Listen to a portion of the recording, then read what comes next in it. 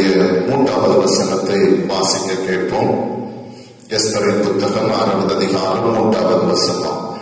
அப்பொழுது ராஜா அப்பொழுது ராஜா இதற்காக மொர்தெகாய்க்கு இதற்காக மொருதகாய்க்கு கனமும் மேன்மையும் செய்யப்பட்டதா என்று கேட்டார். கனவும் மேன்மையும் செய்யப்பட்டதா என்று கேட்டார். அதற்கு ராஜாவை சேவிக்கிற ஊழியக்காரர் அதற்கு ராஜாவை சேவிக்கிற ஊழியக்காரர் அவனுக்கு ஒன்றும் செய்யப்படவில்லை என்று சொன்னார்கள். அவனுக்கு ஒன்றும் செய்யப்படவில்லை என்று சொன்னார்கள். அருமையானவர்களே இன்றைய நாளிலே இந்த வார்த்தைகளின் மூலமாக தேவன் நம்மோடு கூட இடைப்படுவாராக.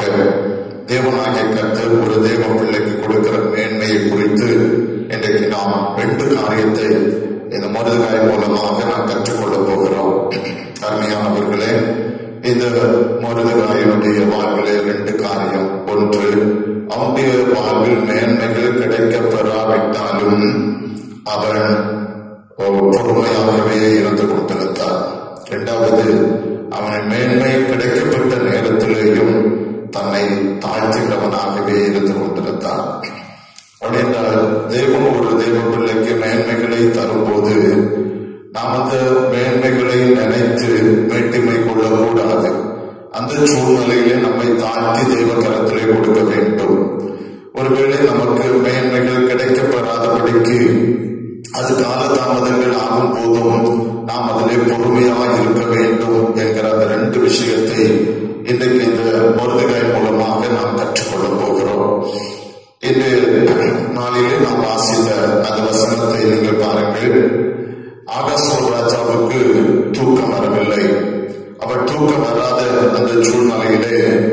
அவன் நடவடி புத்தகத்தை வாசிக்க கேட்கிறான் அந்த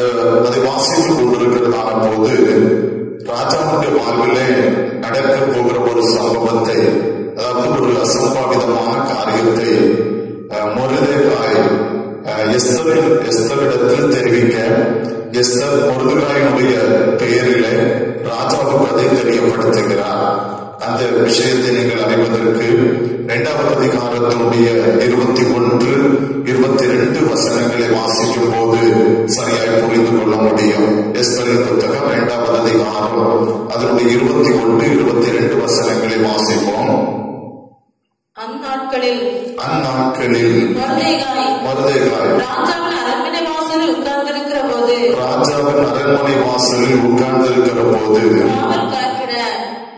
ராஜாவின் ரெண்டு பிரதானிகளாகிய ராஜாவின் ரெண்டு பிரதானிகளாகிய விக்தானும் தேரேசும் விக்தானும் வைத்து தேரேசும் வர்மம் வைத்து ராஜாவாகிய ஆகாஸ்வேரின் மேல் கை போட வகை தேடினார்கள். ராஜாவின் மேல் கை போட வகை தேடினார்கள்.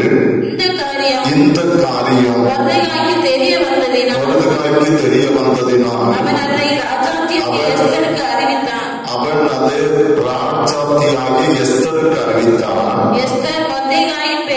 எஸ்தர் மொர்தெகாயின் பெயரால் அதை ராஜாவுக்கு சொன்னான் அருமையானவர்களே இந்த வேத வசனம் நமக்கு நன்றாக தெரியும் பிக்தானும் தேரஸ் என்கிற ரெண்டு பேர் மர்மம் வைத்து இந்த ராஜாவின் மேல் கை போடுவதற்காக திட்டமிடுகிறார்கள். இதை வாசலிலே இருக்கிறதான மருதுகாய் சரியாய் அதை அறிந்து அந்த அந்த தீமையிலிருந்து ராஜாவை காப்பாற்றுகிறார். அந்த விஷயத்தை எஸ்தரிடத்தில் போய் தெரியப்படுத்துகிறார். எஸ்தர் என்ன செய்கிறார்? ராஜாவிடத்தில் போய் தான் அந்த காரியத்தை செய்ததாக சொல்லவில்லை. மருதேகாயின் பெயரால் அதை அவனிடத்தில் தெரிவிக்கிறார் இன்றைய காலகட்டத்தில் என்றால் இந்த மாதிரி ஒரு வாய்ப்பு ஒரு மனிதனுக்கு கிடைத்தது என்றால் அவனே அதற்கு பெயர் பிரஸ்தாபம் கிடைப்பதற்காக அழைத்து தாங்களாகவே அதற்கு முன் வந்து நாங்கள் தான் இதை அறிந்தோம். அதனாலே சொல்லுகிறோம் என்று தங்களுடைய பெயர் பிரஸ்தாபத்தை வெளிப்படுத்துவதற்காக முயற்சி எடுப்பார்கள். ஆனால் எஸ்தர் ஆஹ், அவள் தேவனுக்கு பயப்படுகிறவளாக இருந்தால் உண்மையானவளாகவே இருந்தாள். அதனாலே அவள் அந்த ராஜாவிடத்தில் அதை அறிவிக்கிறதான போது எப்படி அறிவிக்கிறார்கள் என்றால் மருதுகாயின் பெயர் இந்த காரியத்தை விசாரிக்கும் போது உண்மை என்று கண்டவுடனே அந்த பிரித்தானிய தேவசையும் அப்படியே தூக்கி போட்டார்கள். இந்த விஷயம் நடபடி புத்தகத்திலே எழுதி வைக்கப்பட்டிருக்கிறது. அந்த நடபடி புத்தகத்திலே எழுதி வைக்கிறதான போதும் இந்த எஸ்தர் அறிவித்ததாக ராஜா எழுதவில்லை. மருதுகாய் அறிவித்ததாகவே அதில் எழுதி வைக்கப்பட்டிருக்கிறது. இந்த இந்த ராஜாவுக்கு தூக்கம் வர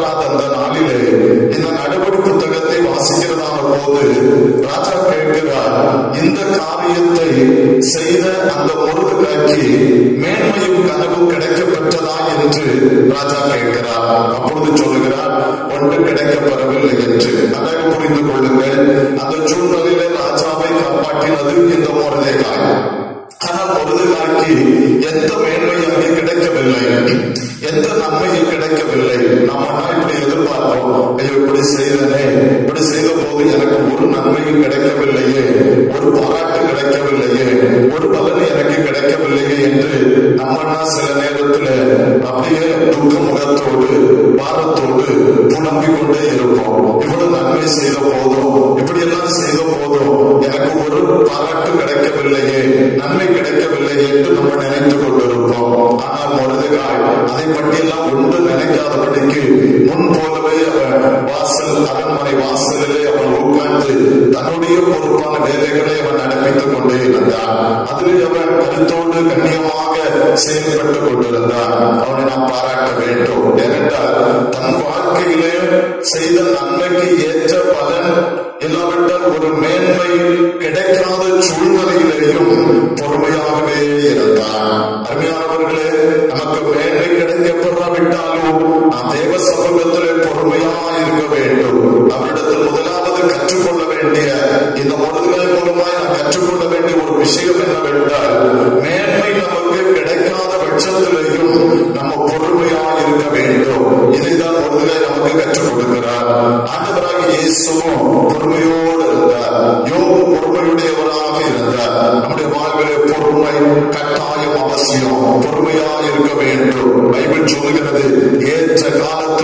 காலத்திலே அவருடைய பலத்த கைக்குள்ளாக அடங்கியிருங்கள் என்று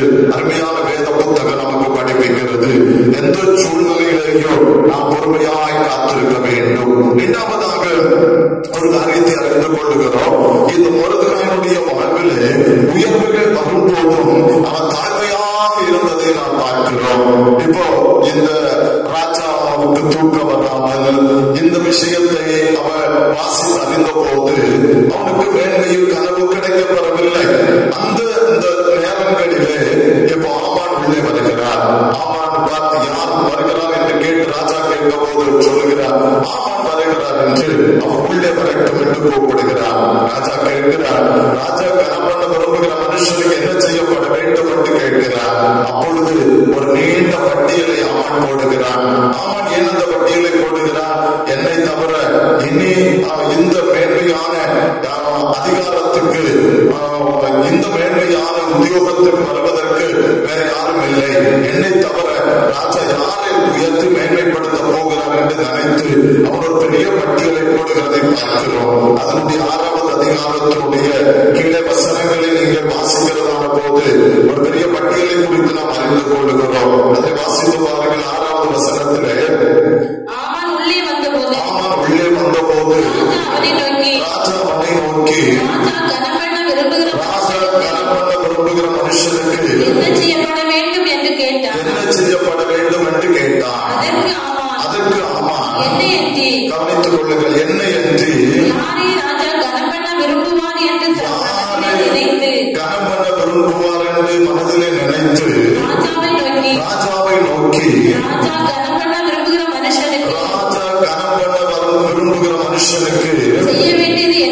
see.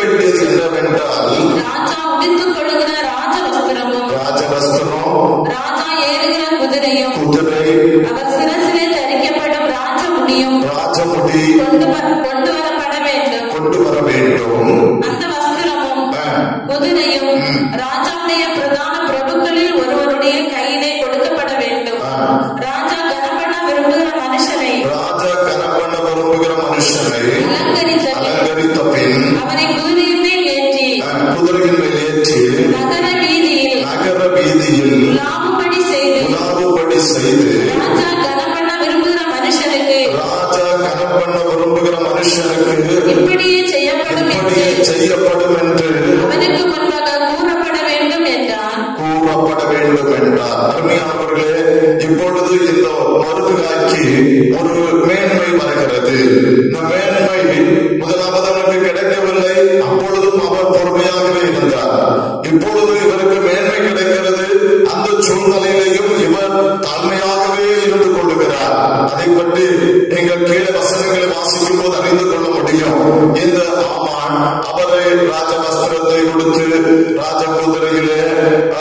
ಆ ತಂಡ ಏಟಿ ತಂಡ ನಿಟ್ಟು ದೇಶ ಬಂದು ಅಪ್ಪಡಿ ಪವಡಿ ಪೋಯ್ ರಾಜ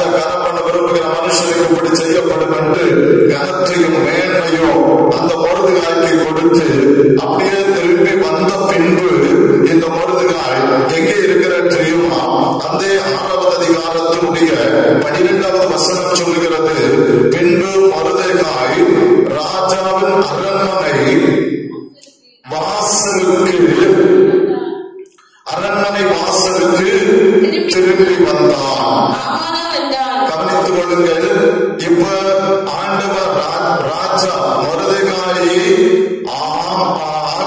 ராஜா கனப்பண்ணினார் கனப்பண்ணி உயர்த்தப்பட்டான் வாசலில் இருக்கிற அவனுக்கு எல்லா மேன்மையை கொடுத்து தேசமெங்கும் தன்னிடப்பட்டது ஆனாலும் அவர் திரும்பி வருகிறதான போது மறுபடியும் அவர் எந்த ஸ்தானத்தில் இருந்தாரோ அப்படி என்றால் அரண்மனை வாசலிலே அவர் இருக்கும் போது அவரை அழைத்து தண்டனிட்டு ராஜா கனப்பண்ணி என்று சொல்லுகிறார். ஆனால் அந்த தண்டனிடப்பட்டு திரும்பி வந்த சூழ்நிலையிலேயும் இவர் நேர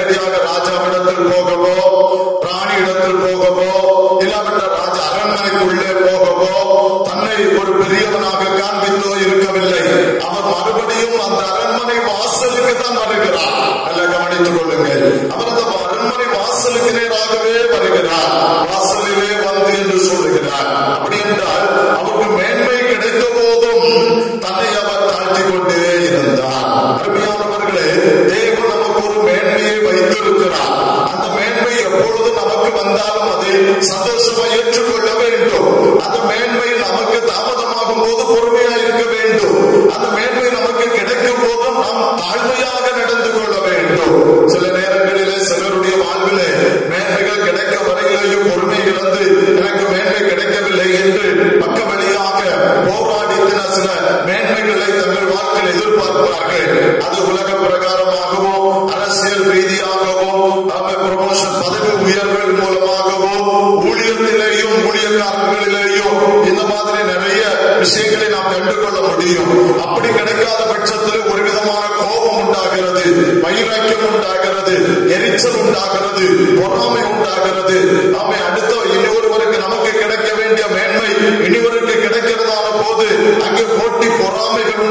உண்டாகிறது கொலை வருக உண்டாகிறது.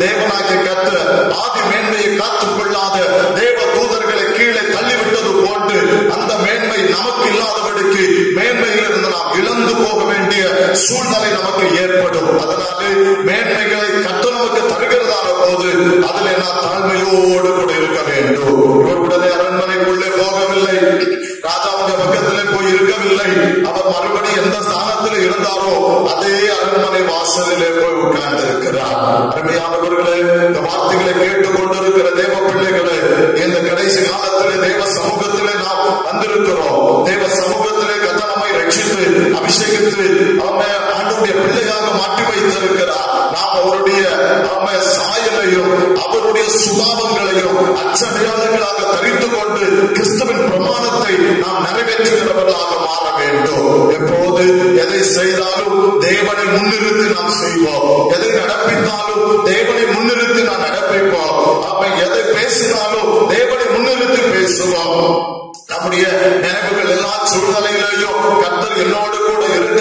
அந்த மனநிலை நமக்கு எப்போது இருக்க வேண்டும்? அந்த நிலையோடு நாம் செயல்படும் போது தேவன் நிச்சயம் நம்மளே பிரியப்படுவார். தேவன் நம்மை கனமாக மேன்மையாய் உயர்த்தி வைத்து ஆசிர்வதிப்பார். இந்த உலக வாழ்க்கை நம்மை விட்டு கடந்து சொல்லுகிறதா போது உன்னதமான ஒரு வாழ்க்கை நமக்கு இருக்கிறது. அங்கே கோடான கோடி பரிசுத்தவான்கள் இருப்பார்கள். அந்த பரிசுத்தவான்கள் மத்தியிலே தேவ பிள்ளைகளாகிய நம்மை அவர் மறுரூபமாக்கி உயிரோடு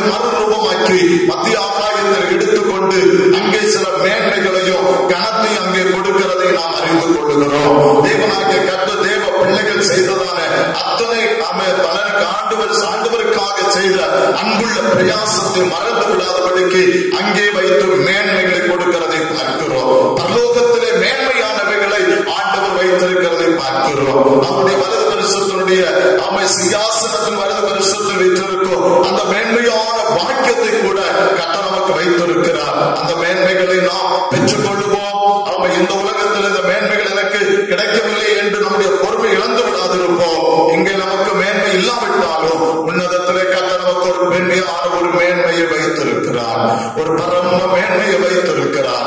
அந்த மேன்மையான ஸ்தானத்தை வாஞ்சிப்போம். அந்த இடத்தில் உள்ள மேலானவைகளை நாம் நாடுவோம். ஓ அற்பமாக நினைக்கப்படலாம். ஐயோ இங்கே நான் சரியாய் படிக்கவில்லை.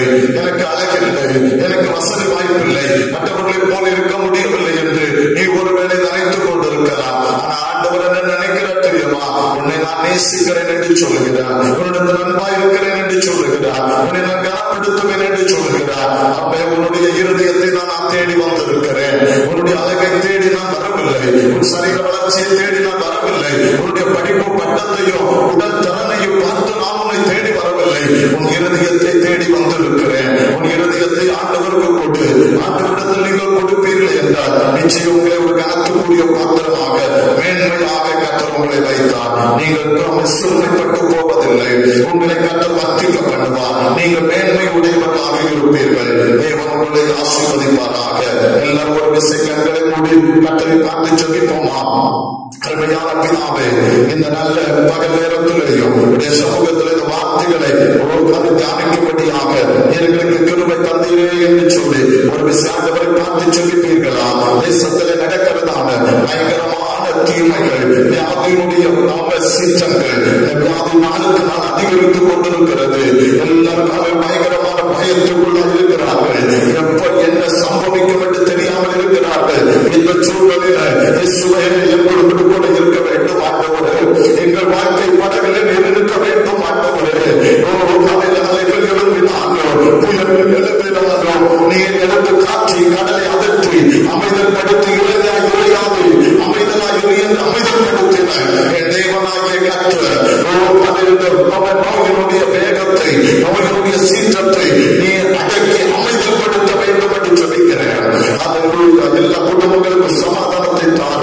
രോഗത്വത്തിൽ നിന്ന് വിടുവിക്കപ്പെടത്തും ദേവകൾ ശ്രദ്ധിക്കപ്പെടത്തും തൊഴിലുകളിലെ